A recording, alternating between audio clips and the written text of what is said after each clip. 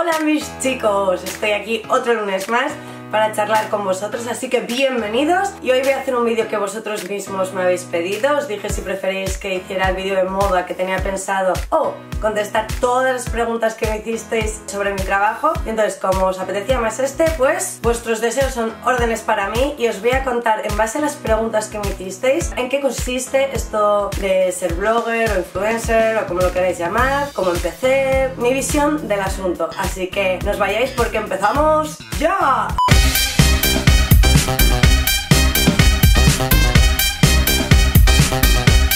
Vamos a ir con la primera pregunta, que fue de Anuki2 y me dijo, hola Natalia, me das mucha envidia por lo que se ve en las redes, pero ¿es tan bonito como parece? ¿O hay un gran esfuerzo detrás? Un beso, pues otro beso para ti. Yo creo que, que las cosas sean bonitas y conlleven un esfuerzo no son cosas contrarias. Sí, es el trabajo más bonito del mundo, por lo menos para mí, igual que yo que sé, a un veterinario pues le parecerá su trabajo lo más bonito del mundo o bueno, en general cualquier trabajo vocacional yo creo que, que parece muy bonito al que lo hace, ¿no? ¿Hay un gran esfuerzo? Sí, claro que hay un gran esfuerzo. Es como todo. Muchas veces cuando no estamos dentro o hasta que no estamos dentro no nos damos cuenta del trabajo que hay detrás. Siempre pongo este ejemplo. Tú cuando vas a comer un restaurante, comes un plato y dices, ah, qué rico, va, no me gusta o le faltaba algo, pero muchas veces no te das cuenta, no valoras todo el trabajo a lo mejor que detrás de ese plato, pues que ha tenido que estar marinándose dos días en no sé qué y han tenido que hacer a baja temperatura no sé cuántos y tal, no te das cuenta realmente del trabajo que hay detrás de las cosas hasta que no te pones a hacerlas. Vamos con la segunda pregunta. Of the Rises pregunta, además de ser bloguera, ¿te dedicas a algo más o has hecho de tu pasión una profesión? ¿Ves lo de ser bloguera como algo que pueda ser toda la vida? Muchos besis, pues muchos besis para ti también. Hasta hace muy poquito sí, solo era bloguera, he conseguido hacer de mi pasión mi profesión. Creo que somos unos afortunados los que conseguimos hacer eso y yo estoy muy feliz. Ahora mismo, por suerte, ya como las cosas han ido bien con el blog, pues he podido formar un pequeño equipo que me ayuda a llevar todo y entonces sí que puedo dedicarme a otra cosa, pero hasta hace muy poquito no podía porque no tenía tiempo. Ahora sí que además hago trabajos como freelance para una agencia de comunicación y de marketing y me encanta también. Y si lo veo para toda la vida, ¿por qué no? O sea, iremos viendo. Yo no me cierro la puerta, creo que el blog puede ir evolucionando, igual que el público, igual que todo, entonces pues... Y si no, pues tampoco me pasaría nada, ¿eh? Buscaría entre las otras muchas cosas que me gusta o a las que me gustaría dedicarme profesionalmente y apostaría por otra. Lara 2404 dice, mi pregunta es la siguiente, va, ¿cómo decidiste o de qué forma que querías dedicarte al mundo de la moda y al mundo de YouTube? Un beso muy fuerte, me alegra verte. Bueno, pues todo esto la verdad es que empezó por pura casualidad hace ya 5 años. En aquel momento yo estaba muy frustrada porque había estudiado Derecho y Económicas y no me veía porque cuando elegí eso no tenía nada claro lo que quería. Dije, a tomar por saco, lo voy a intentar. Me cambié de carrera, me puse a estudiar periodismo y fue en aquel momento cuando además estaba la crisis, no había trabajo y fue cuando pensé, bueno, como es tan difícil conseguir un trabajo en un medio, pues eh, y hay tanta gente optando para cada puesto, voy a intentar hacer algo que no haga todo el mundo. Entonces dije, bueno, creando mi propio blog será una manera muy interesante de complementar mi currículum y quizás cuando vaya a una entrevista, pues valoren eso y me cojan a mí antes que a otra. Entonces pensé que me ayudaría a conseguir un trabajo. No, no, no. Nunca jamás se me ocurrió que esto pudiera ser un trabajo. Alba Moon Blog dice Se te echaba de menos. Gracias. Me gustaría que hablases un poco de tus inicios en el mundo blogger, Instagram y que dieses algunos consejos a las que estamos empezando. Muchas gracias. Bueno, obviamente los inicios, como en todo, fueron duros. Yo en aquel momento, como os he dicho, estaba estudiando en la uni periodismo. Además, trabajaba algunas tardes en Abercrombie. Los fines de semana trabajaba en el Atlético de Madrid, en el Calderón. Y aparte de todo eso, sacaba tiempo para editar el blog, para hacerme fotos una cosa que es muy importante al principio, que es ir a eventos, open days de agencias para hacer contactos, para que te vayan conociendo, publicar en algunas webs que había, bueno, que de hecho siga habiendo, para colgar tus looks y que la gente pues los vea. Entonces, pues fue muy duro porque, claro, yo tenía muy poco tiempo y el primer año casi ni dormía para sacar tiempo para, para editar el blog. Pero bueno, lo importante aquí, y es un consejo que os doy, es paciencia y esfuerzo, porque al final llega, tarda en llegar, pero al final llega. Tened paciencia paciencia y luchar por lo que queréis porque mi experiencia es que se puede conseguir. Alejandra Carnero dice, ¿cómo te iniciaste en el blog? ¿Tenías algún conocimiento informático o simplemente usaste una plantilla y un dominio gratuito? Eh, no tenía ni idea de informática, esa es otra cosa que al principio fue muy dura porque no tenía ni idea ni de fotografía, ni de retoque, ni de informática, ni de redes sociales, de nada. Entonces yo lo primero que tuve que hacer es aprender de todas esas cosas, verme un montón de tutoriales en YouTube, eh, estudiar por mi cuenta. Entonces, plantilla, dominio gratuito y aprender por mí misma a programar para pues centrar las cosas tal y, diseñar un poco el blog, ¿no? Porque las plantillas siempre hay que tocarlas y tuve que aprender. La siguiente pregunta es de Trabanqueta y dice, ¿cómo es un día en tu vida? Bueno, y habla de que podría hacer un vídeo, pues aquí tienes el vídeo de trabajo, obviamente profesionalmente os voy a hablar. Mis días se dividen en dos cosas, o mis tareas, mejor dicho. Por un lado, el trabajo que hago de cara a mis redes, a, pues, a vosotros, a mis seguidores y todo. Y por otro lado, el trabajo que hago para las marcas. Son dos cosas diferentes. Entonces, de cara a mis redes, ¿qué hago? Pues pensar los looks, hacer un calendario de publicaciones, hacer las fotos, retocarlas, filtrarlas, hacer los posts en todas las redes, pensar el contenido de los vídeos ahora desde que estoy en YouTube que me encanta y todas estas cosas, ¿no? Por otro lado está el trabajo que hacemos para las marcas y aquí es donde entra el equipo que he conseguido formar, que primero está un chico que es el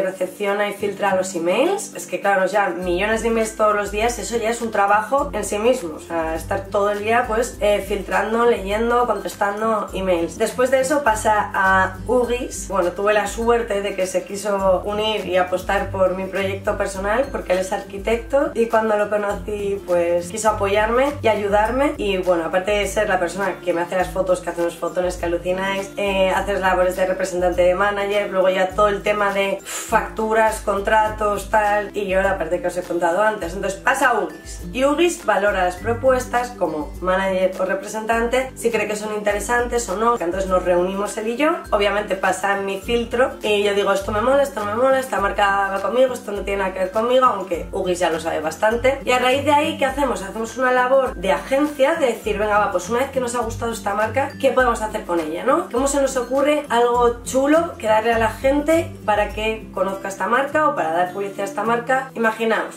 que llega Zara, que eso es mentira porque ya sabéis que Zara no hace publicidad. Pero imaginaos que mañana me escribe Zara. Me dice, no, Natalia, pues nos gusta tu estilo, tal cual, ¿qué podemos hacer para colaborar contigo? ¿Qué hacemos con Zara? Pues yo diría, vamos a ver, Zara que tiene un montón de ropa, ya toda la gente lo conoce, alguna campaña viral o así tampoco es necesaria. ¿Cómo podemos darle algo interesante a la gente relacionado con Zara? Y yo, por ejemplo, diría, pues como tiene una colección tan grande, ayudar a la gente a filtrar según su estilo sus necesidades. Y a Zara le diría, pues mira, hemos pensado que sería muy chulo hacer una serie de producciones en las que ayudemos a vuestros diferentes públicos a seleccionar los looks que mejor le van. Por ejemplo, 7 looks para ir al trabajo, 7 looks para ir a la universidad, 7 looks para salir de fiesta. Entonces le diría a Zara, eso es guay porque así ayudamos a la gente a seleccionar lo que necesita y lo que le gusta. Entonces, pues eso sería, por ejemplo, un ejemplo de cómo realizaríamos una acción. ¿Qué es publicidad? Sí. ¿Eso quiere decir que a mi Zara no me gusta? No. ¿Que porque me paguen no me gusta la ropa? No. ¿Que porque me paguen es la única marca del mundo que me gusta y la única que llevaría? Tampoco. Y me gusta muchísimo todo esto porque es una manera nueva de hacer publicidad y creo que por eso la gente desconfía o tal. Pero para mí la publicidad integrada en la que se ofrece contenido es algo bueno, es una buena noticia. Antes solo era un anuncio que te daba el coñazo mientras veías tu serie favorita y que no te interesaba. Ahora las marcas están invirtiendo tiempo y dinero en hacer publicidad con contenido. De tal manera que vosotros podréis aprovecharos de ese contenido que Zara estaría produciendo conmigo y, e invirtiendo su dinero. Pues esta nueva forma de hacer publicidad a mí me encanta y creo que es buena para todos. Es buena para las marcas y pues buena para el consumidor. Y por último, pues me quedaría la parte esta que os he dicho que hago de freelance, de agencia, que muchas veces ya me quedo a las 3 de la mañana con los ojos rojos diciendo, venga, va, hay que presentar esto, tenemos una reunión la semana que viene, tal, pues pensar campañas para otras marcas que no tienen nada que ver conmigo, ni con el blog, ni para nada. Claudia Moreno y dice, ¿es fácil compaginar la vida, familia, amigos con el trabajo? ¿Qué te dijo tu familia cuando empezaste? Besitos. Pues besitos, Claudia.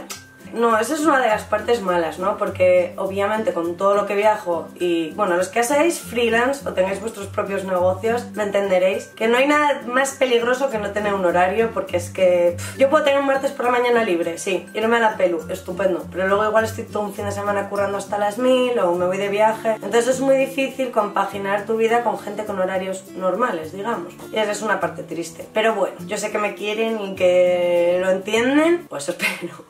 ¿Y qué dijo mi familia? Pues mira, eso es algo que se me hizo muy duro, porque cuando yo empecé hace 5 años, todo esto de los blogs, de YouTube, tal, no era tan normal. Ni mi familia ni mis amigos entendían que yo hiciera eso, que dedicase tanto esfuerzo, tanto tiempo, mis horas de sueño a esto. Mi madre, por ejemplo, con toda su buena intención y con amor de madre, me decía, pero ¿para qué haces esto? ¿Qué te da el blog? Eh, dedícate a aprender alemán, que eso te va a venir mejor para conseguir un trabajo, invierte tu tiempo en algo más productivo, todas estas cosas. ¿No? Tus amigos, pero qué narices haces, haciéndote fotos, tal. Es normal que la gente no entienda las cosas que, que no conoce y que son nuevas, pero obviamente a día de hoy eh, me apoya muchísimo y enseguida cambiaron el chip cuando vieron que a mí me hacía feliz y que, y que bueno, pues que se me estaba dando bien y ahora puedo contar con ellos, pues para todo, obviamente. Y por último, voy a cerrar con esta pregunta de Sofix. ¿Por qué empezaste con YouTube? Bueno, pues mucha gente, me acuerdo cuando empecé que me decía, eh, es por pasta, no sé qué tal. Eh, os prometo, a día de hoy no he ganado ni un céntimo con YouTube y no es de verdad mi intención. No, no tenía nada que ver con el dinero, tenía que ver conmigo misma, que como os he dicho antes y muchas veces, el rollo este blogger me flipa, pero muchas veces pienso que doy una imagen de mí que está muy alejada de la realidad, ¿no? O sea, pienso que, no sé, tanto postureo y tal, que es muy bonito y me encanta la moda y hacer fotones y todo esto, pero por otro lado sentía que estaba perdiendo como parte de mí o que la gente podía tener una imagen de mí completamente diferente. Entonces cuando, no sé, conocía yo a veces a seguidoras, pero si eres normal. Y yo, claro que soy normal, lo que pasa es que me dedico a hacer fotos y a viajar y a hacer cosas que la gente puede entender que, que soy más, no sé, más fría o más, pues eso, más diva.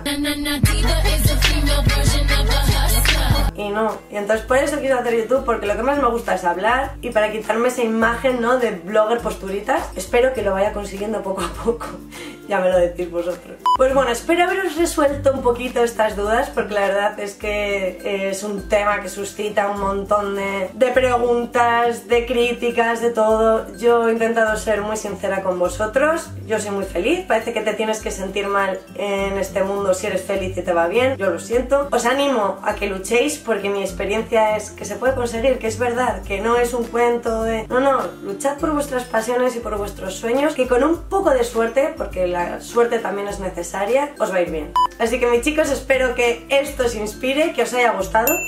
Ya sabéis, veis una manita arriba que eso me ayuda. No olvidéis suscribiros porque vengo con un vídeo chulísimo la semana que viene. Y os mando muchos miles de besos, bloggers.